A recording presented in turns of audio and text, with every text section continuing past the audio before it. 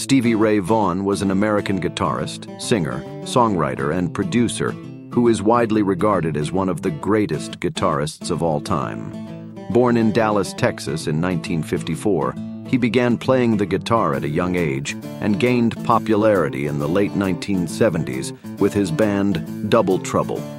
He signed with Epic Records and released his debut album, Texas Flood, in 1983 to critical acclaim.